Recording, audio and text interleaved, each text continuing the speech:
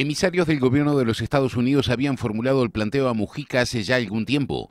El presidente, luego de una serie de consultas internas e incluso conversarlo con el presidente Castro en Cuba, aceptó el pedido. El secretario de Estado de los Estados Unidos llamó a Mujica esta semana, le agradeció la aceptación del pedido y le comunicó que antes de junio seguramente Obama lo recibirá en la Casa Blanca.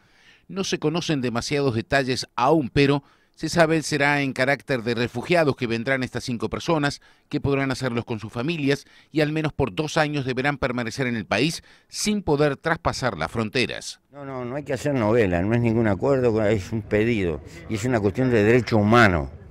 ¿En qué condición Hay 120 tipos que están presos hace 13 años, no vieron un juez, no vieron un fiscal, no vieron nada.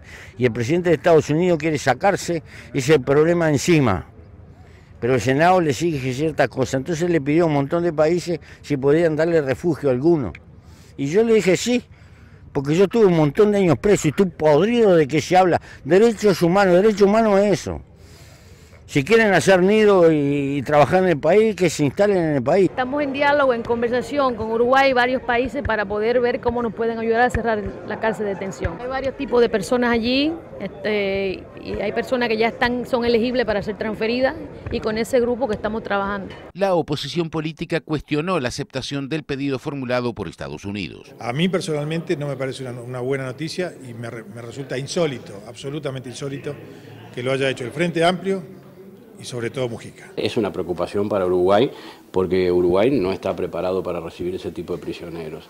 Y puede ser el camino a que Estados Unidos se inmiscuya en el Uruguay ofreciendo seguridad adicional.